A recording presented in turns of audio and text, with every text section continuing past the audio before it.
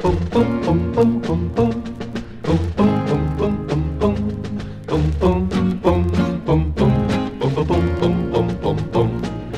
year was 1900, tis worth remembering.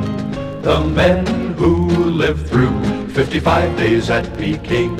'Twas called the Boxer Insurrection, a bloody Oriental war against all nations of the diplomatic corps. The flags of France and Britain, how they fluttered in the breeze.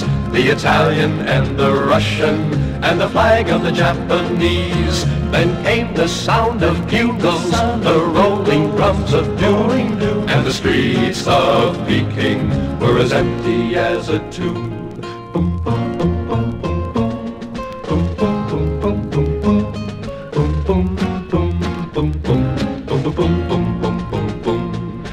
Empress of all China gave the signal to begin. Let the foreign devils be driven from Peking.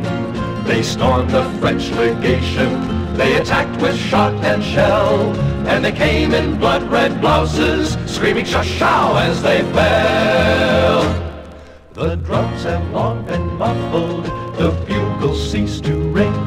But through the ages, can hear them echoing. Boom, boom, boom, boom, boom, boom. Boom, boom, boom, boom, boom, boom. Boom, boom, boom, boom, boom. Fifty-five days at Peking. Boom,